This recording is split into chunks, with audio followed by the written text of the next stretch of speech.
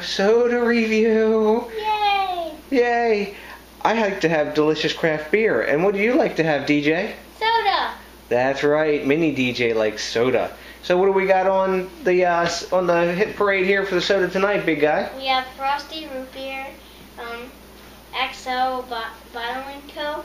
Oh, XL Bottling Company, is that who makes it? Mm-hmm. Okay, where are they out of? Detroit, Michigan. Yes, that's right, Detroit, Michigan. Hmm, where they used to make autos. Now they still still do, but not so much anymore. But apparently they're making Frostie root beer. So, uh, what's the beer, root beer made out of? Is it made out of junk? Is it natural? What is all, it? all natural root beer made with pure cane sugar, 160 calories per bottle. 160 calories per bottle. You see, guys, he's taking down his notes. He's learning about it. So, how about we pop the cap on that bad boy and see what we got on it? There we go. Looks like the cap popper's working again. Let's get that in the glass. See what we got going on. Oh, it looks fizzy. Whoa, whoa, whoa. Oof, almost got away from you.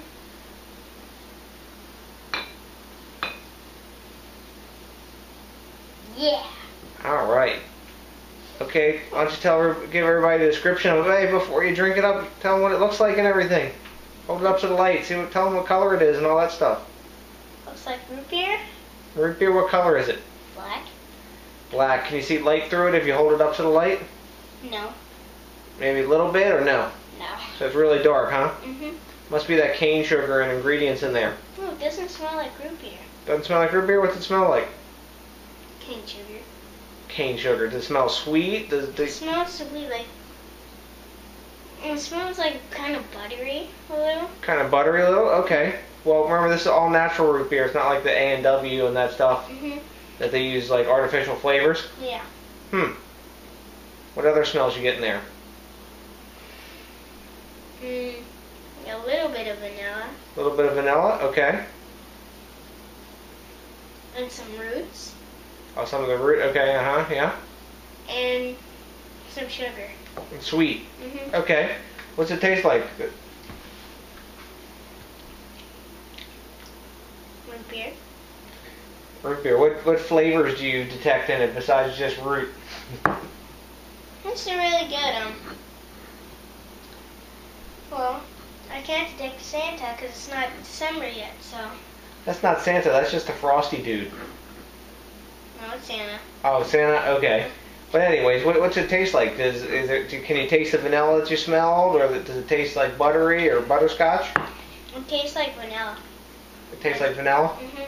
When I smell it, when I smell it, mostly tastes like butterscotch. But when I when I tasted it, it sm- tastes like vanilla. Tastes like vanilla. Hmm. So, how, how's the sweetness? Is it too sweet? Is it just right? What do you think? It's really good. It's really good. The Mhm. heck, Santa doesn't have a red hat. That's because the frosty dude. I'm telling you. Frosty. Frosty the snowman. Not Frosty the Snowman. Frosty the root beer dude. Look, show him, show him on the camera what he looks like. He's like a crazy old frosty root beer guy that the XL bottling people fabricated. so, anyways, how does this compare to some of the other root beers that you've had? Think this one beats them. Why? The other one, it tastes too um, like dark of a root beer. Too, so they got too much of that like spicy spiciness to them, kind of. Yeah. Mm-hmm. So that's more. Is it more like smooth? Mhm. How's the carbonation? Is it real fizzy or pretty mild? No, because when when it was when it just came here, it just went down. So. Yeah, the head dissipated pretty quickly. Mhm. Mhm.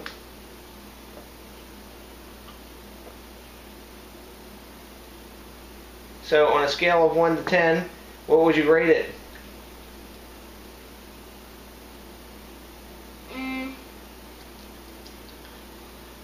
probably a nine and a half. Nine and a half, right? And hey, sh- what, what does it have on the, printed on the neck there? It's got a date on it, right? Well, I have to give it a ten because I has the date. Well, you don't have to. Yeah, because the date.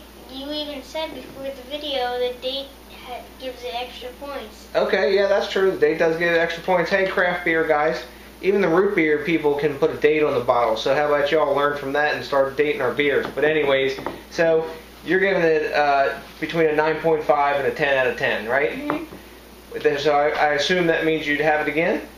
Yeah. Okay. So what do you want to say to the folks in closing? Um, I mean, you don't have to get this. I mean, you can get another soda to try it. But, I mean, if, if you just want a regular soda or root beer, this would be a good one to find. hmm You think they would like it maybe better than the A and W or the mass-produced ones? Yeah. All right, guys. Well, there you have it. DJ's giving it between a 9.5 and a 10 because he bumped it up because of that date on the bottle. He's a, a man after my own heart. And if you find the Frostie root beer in your area, I guess that means what? Give it a shot. hmm All right. So until the next time, what's that mean, buddy?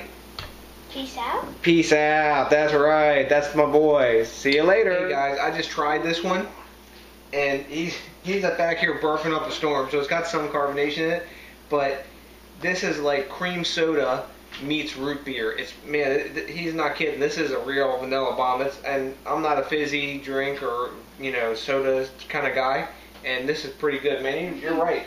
He, my man's got a good grade on this one. He's happy because he's bubbling over Mr. Burp Man. So, till the next time, guys, peace out.